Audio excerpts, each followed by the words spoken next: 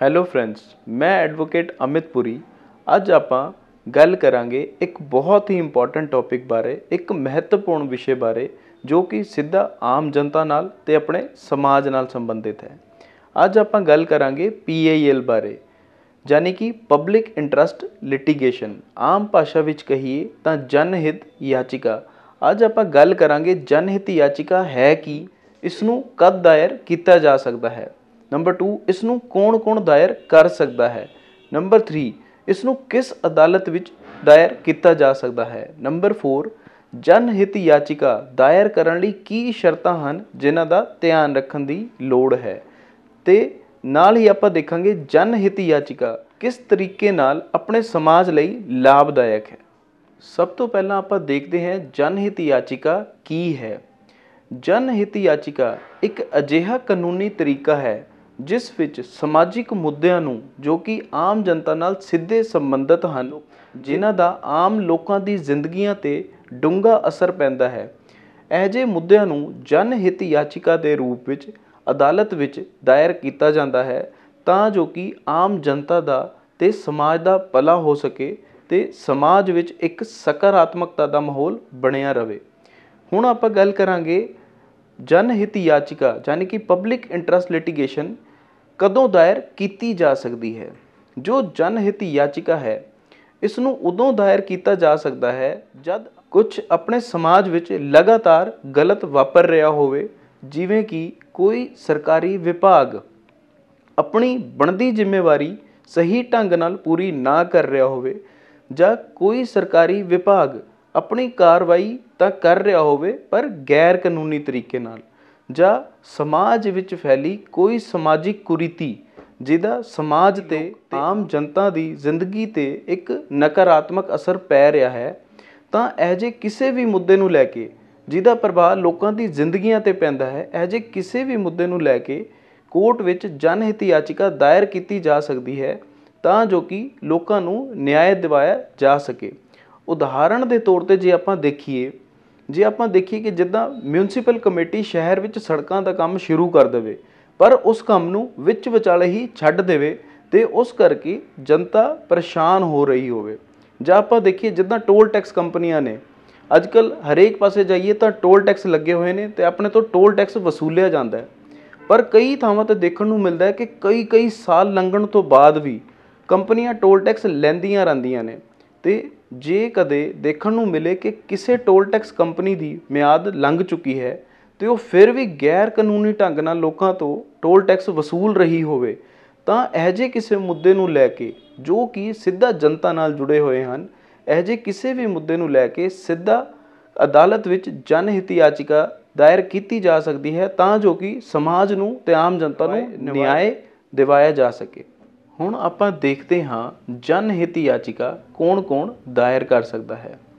ਜਦੋਂ ਵੀ ਕੋਈ ਮੁੱਦਾ ਸਿੱਧਾ ਆਮ ਤੌਰ ਤੇ ਜਨਤਾ ਨਾਲ ਜੁੜਿਆ ਹੁੰਦਾ ਹੈ ਜਾਂ ਸਮਾਜ ਨਾਲ ਜੁੜਿਆ ਹੁੰਦਾ ਹੈ, ਜਿਸ ਨਾਲ ਆਮ ਜਨਤਾ ਨੂੰ ਪਰੇਸ਼ਾਨੀਆਂ ਦਾ ਸਾਹਮਣਾ ਕਰਨਾ ਪੈ ਰਿਹਾ ਹੁੰਦਾ ਹੈ, ਤਾਂ ਆਮ ਜਨਤਾ ਆਪਸ ਵਿੱਚ ਰਲ ਕੇ ਜਾਂ ਆਮ ਜਨਤਾ ਵਿੱਚੋਂ ਕੋਈ ਇਕੱਲਾ ਬੰਦਾ ਵੀ ਜਾਂ ਕੋਈ ਗੈਰ ਸਰਕਾਰੀ ਸੰਸਥਾ ਵੀ ਆਮ ਜਨਤਾ ਦੇ ਬਿਹਾਫ ਤੇ ਕੋਰਟ ਵਿੱਚ ਜਨਹਿਤ ਯਾਚਿਕਾ ਦਾਇਰ ਕਰ ਸਕਦੀ ਹੈ ਤਾਂ ਜੋ ਕਿ ਆਮ ਜਨਤਾ ਦਾ ਭਲਾ ਹੋ ਸਕੇ।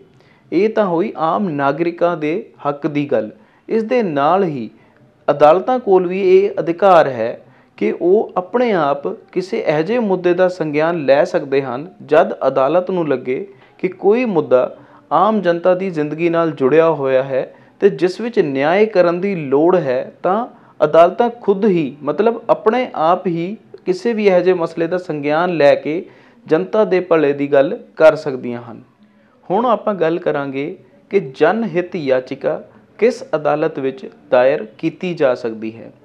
ਜਨਹਿਤ ਯਾਚਿਕਾ ਕਿਸੇ ਵੀ ਰਾਜ ਦੀ ਸਰਵੋੱਚ ਅਦਾਲਤ, ਜਿਵੇਂ ਕਿ ਹਾਈ ਕੋਰਟ ਜਾਂ ਦੇਸ਼ ਦੀ ਸਰਵੋੱਚ ਅਦਾਲਤ, ਜਿਵੇਂ ਕਿ ਸੁਪਰੀਮ ਕੋਰਟ ਵਿੱਚ ਸਿੱਧੇ ਤੌਰ ਤੇ ਦਾਇਰ ਕੀਤੀ ਜਾ ਸਕਦੀ ਹੈ ਤਾਂ ਕਿ ਸਮਾਜ ਦਾ ਭਲਾ ਹੋ ਸਕੇ ਅਤੇ ਸਮਾਜ ਵਿੱਚ ਇੱਕ ਪ੍ਰਭਾਵੀ ਬਦਲਾਵ ਲਿਆਂਦਾ ਜਾ ਸਕੇ। ਜਨਹਿਤ ਯਾਚਿਕਾ ਦਾਇਰ ਕਰਨ ਲੱਗੇ ਕੁਝ ਸ਼ਰਤਾਂ ਹਨ ਜਿਨ੍ਹਾਂ ਦਾ ਧਿਆਨ ਰੱਖਣ ਦੀ ਲੋੜ ਹੈ।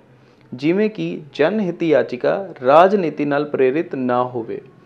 ਉਸ ਤੋਂ ਬਾਅਦ ਜਨਹਿਤ ਯਾਚਿਕਾ ਵਿੱਚ ਕੋਈ ਸਵਾਰਥੀ ਲਾਭ ਲੁਕਿਆ ਹੋਇਆ ਨਾ ਹੋਵੇ। ਉਸ ਤੋਂ ਬਾਅਦ ਜਨ ਹਿਤ ਯਾਚਿਕਾ ਦਾਇਰ ਕਰਨ ਲੱਗੇ ਵਿਕਲਪਿਕ ਸਾਧਨਾਂ ਦੀ ਵਰਤੋਂ ਕੀਤੀ ਜਾ ਚੁੱਕੀ ਹੋਵੇ।